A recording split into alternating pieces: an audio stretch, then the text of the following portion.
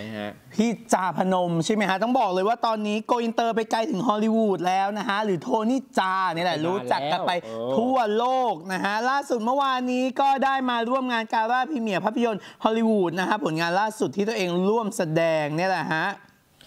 Expendable 4 นะครับ โคตรคนทีมมหากาฬ ซึ่งประกอบกับนักแสดงฮอลลีวูดทั้งเจสันสเตแธมซิลเวสเตอร์สตอลโลนนฟิสตี้เซนเมแกนฟ็อกซ์แล้วก็ ดอล์ฟลันด์เกรนแล้วก็อีกหลายคนเลยนะฮะในภาพยนตร์เรื่องนี้ ซึ่งพี่จาก็ได้เล่าให้ฟังนะเขาบอกว่าเนี่ยโอ้โหเล่นหนังบู๊ทุกเรื่อง ก็มีแบบแผลเนี่ยแหละฮะบาดแผลของนักบู๊กลับมาเป็นที่ระลึกทุกเรื่องนะฮะอย่างเรื่องเนี้ยที่เปิดตัวเจ้าตัวบอกว่ามีเหตุการณ์ที่ต้องเจ็บตัวเหมือนกันนะฮะซึ่งเป็นฉากที่ต้องกระโดดเตะสูงโดยไม่ใช้สลิงนะฮะและเป็นท่าที่ยาก แล้วก็ต้องเล่นต่อเนื่องเป็นแบบคอมโบเซตเลยคือแบบปุ๊บปุ๊บปุ๊บปุ๊บต่อสู้คอมโบเซตเลยนะฮะซึ่งก่อนเล่นจริงเนี่ยแหละก็ซ้อมไปประมาณ 20 ครั้ง เขาบอกว่าพอถึงเวลาเล่นจริงเนี่ยบวกกับอากาศที่หนาวมากๆ ก็เลยมีอาการกล้ามเนื้อฉีกนะฮะ แล้วก็ไปปฐมพยาบาล แล้วก็ยังฟื้นเล่นต่อนะฮะ ถ่ายทำไปอีกประมาณ 10 เทค ก็ผ่านไปได้ด้วยดีนะฮะ เจ้าตัวก็บอกว่าเนี่ยก็มีกล้ามเนื้อฉีกเกิดขึ้นนะฮะ พี่จาบอกด้วยนะฮะว่าวัยในตอนเนี้ยจะให้ไปกระโดดเหมือนสมัยองค์บากก็คงไปเป็นไปไม่ได้แล้วนะฮะ แต่เอาเท่าที่สามารถทำได้ ปลอดภัยสำหรับเรา แล้วก็โปรดิวเซอร์และผู้กำกับเขาโอเค ก็แค่นั้นก็โอเคแล้วนะฮะ พี่จาพนมบอกว่าทุกครั้งเนี่ยแหละหลังกลับมาจากการถ่ายหนังนะ ก็ต้องไปให้คุณหมอตรวจร่างกายทุกรอบ เพราะเคยมีเหตุการณ์แบบกระดูกแตก เคยผิดคิวหัวแตกต้องเย็บถึง 21 เข็มนะฮะแต่ก็มองว่าเป็นสิ่งที่มาคู่กับการแอคชั่นที่จะต้องมีการเจ็บตัวอยู่แล้วเนี่ยแหละฮะ เวลากลับบ้านเจ้าตัวก็บอกว่าอุ้ยกลับบ้านไม่ใช่สามารถอาบน้ำนอนได้เลยนะ เจ้าตัวก็ต้องใช้วิธีประคบกล้ามเนื้อ อบน้ำสมุนไพร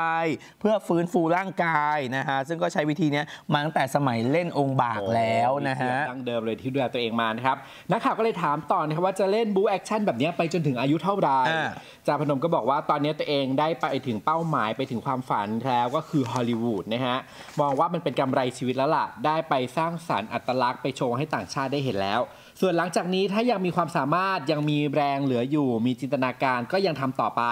จนกว่าจะเล่นไม่ไหว เพราะว่าไม่มีความกังวล ไม่มีความกลัวในพจนานุกรมของไม่มีคำว่ากลัวในพจนานุกรมของตัวเองด้วยซ้ำพี่จาบอกนะครับ เพราะตัวเองเนี่ยมีทั้งศรัทธาที่จะถ่ายทอดมวยไทย ถ่ายทอดวัฒนธรรมไทย ก็เลยลืมความกลัวไป ส่วนหลังจากนี้ยังจะมีโปรเจกต์หนังฮอลลีวูดหนังจีนและหนังไทยให้แฟนๆได้ติดตามกันอีกนะฮะ นอกจากนี้พี่จาพนมเองก็ยังบอกว่าเวลาไปเล่นหนังกับใครเนี่ยก็มักจะเอาของดีจากเมืองไทยไปฝากเพื่อนๆนักแสดงตลอดเลย จนมันกลายเป็นอัตลักษณ์ของตัวเองไปแล้ว ล่าสุดเนี่ยเอาพระขุนแผนไปให้วินดีเซล แล้วก็ดันนี่เยนด้วยนะอืมอย่างล่าสุดเจอแจ็คสันหวังก็เอาพระพรหมไปให้น้อง พร้อมกับได้สอนท่ารำมวยให้กับแจ็คสันด้วย ก่อนจะจบท่าด้วยการทำมือ mini heart จนทำเอาแจ็คสันเนี่ยเขินม้วนไปเลยนี่ในคลิปในคลิปลองดูโอ้นี่ท่าช้างกูอยู่ไหนอะ อะดะดะดะดะ mini heart เออแจ็คสันถึงกับเขินเลยนะฮะอะไปฟังเสียงพี่จาพนมกันหน่อยฮะด้วยวัยเนี่ยถ้าเราจะไปกระโดดแบบเหมือนองค์บากสมัยแต่ก่อนเนี่ยมันก็คงเป็นไปไม่ได้ เอาที่เราสามารถทำได้ แล้วก็ผู้กำกับซื้อโปรดิวเซอร์ซื้อโอเคครับแล้วก็ปลอดภัยสำหรับเรา แต่นี่คือท่ายากผมบอกผมบอกว่ามันมันท่ายากแต่ว่าเป็นท่าที่เราคุ้น แต่ทีนี้มันอากาศด้วยสภาพอากาศด้วยทุกสิ่งทุกอย่างก็ประมาณ 10 take ครับ10กว่า take อ่า10กว่า take ก็ก็ผ่านไปด้วยดีก็ครับอุบัติเหตุในเรื่องบู๊มันก็เป็นอ่าทุกที่ฮะทุกที่ครับ เพราะเราอยู่กับสิ่งนี้ฮะอยู่กับเอ่อการทำแอคชั่นอะไรพวกนี้เนี่ยแต่ทีนี้คือผมต้องบอกว่าเรารักในสิ่งที่เราทำอะเออมันก็เลยเป็นเป็นพลังที่เราขับเคลื่อนนะแฟนหนังรอดูอยู่อะเออเราก็เต็มที่กับมันนี่เราเราก็ระวังเราก็ดูแลรักษาร่างกายนะฮะที่สำคัญคือกลับมาก็ต้องดูแลร่างกายให้ดีใช่ครับ กล้ามเนื้อ กลับมาผมว่าสไตล์ไทยดีดีสุดในการกล้ามเนื้อครับ เข้ามาไปอ่าไปประคบนะครับไปประคบแล้วก็ใช้ยาสมุนไพรนะครับ ซึ่งซึ่งเราก็ทำมาตั้งแต่สมัยที่เราเล่นองค์บากมาแล้วครับก็ใช้สูตรนี้ก็ทำมาเรื่อยๆเป็นที่วิธีสมุนไพรนะครับ อบน้ำแล้วก็พักฟื้นร่างกาย คือเรามันก็คอหนังแอคชั่นนะมันก็แบบว่ามันก็ใช่มันอยู่ในสายเลือดมันมันเมื่อนึกถึงเวลาที่เราแบบว่าแอคชั่นเนี่ยมันจะลืมทุกสิ่งทุกอย่างเลย มันจะโฟกัสอยู่กับสิ่งสิ่งนั้นนะฮะ ในส่วนตัวของผมก็คือ เราไปถึงเป้าหมาย เราไปถึงความฝันของเราเนี่ยคือฮอลลีวูดนั่นคือผมมองเป็นกำไรชีวิตแล้วครับ มองเป็นกำไรชีวิต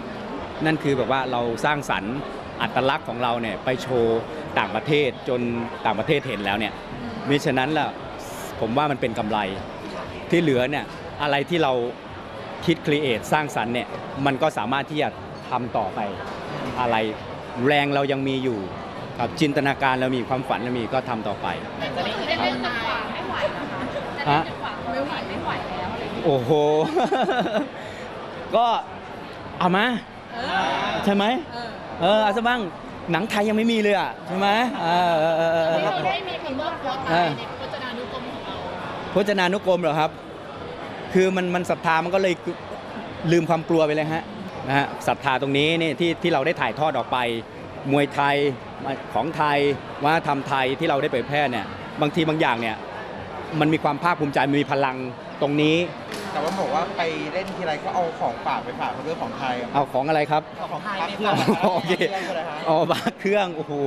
ครับก็ก็มีคือมันเป็นอัตลักษณ์ของเราตั้งแต่เด็กแล้วอ่าก็คือเอ่อพ่อแม่ก็จะสอนก็คือก็มีพระเครื่องนะฮะไปก็ติดตัวไปออกไปเป็นย่ามครับ ไปเป็นลังครับ ไปที่ฮ่องกงอย่างนี้ไปถ่ายหนังจีนเนี่ยเพราะว่าวัฒนธรรมใกล้กันเราก็เอาพระเครื่องเนี่ยไปแจกอ่าอย่างดาราฮอลลีวูดก็เป็นวินดีเซลใช่ไหมฮะ พี่วินดีเซลได้เจสันสเต t ัมใช่ไหมครับ ก็ได้พระไปแล้ว ดอนนี่เยนอ่า ก็ได้พระขุนแผนไปแล้ว อ่า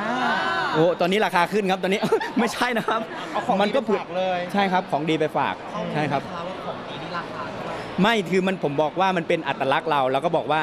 เราเกิดมาจากนี้คนไทยวัฒนธรรมไทยเราเขามีพระคริสใช่ไหมเขามีไม้กางเขน แต่เรามีพระเครื่อง สิ่งนี้แหละเป็นเครื่องยึดเหนี่ยวเป็นแรงบันดาลใจให้เราได้สำเร็จได้มีสติได้มีสมาธิตรงนี้อยากให้อะไรแจ็คสันหวังคะ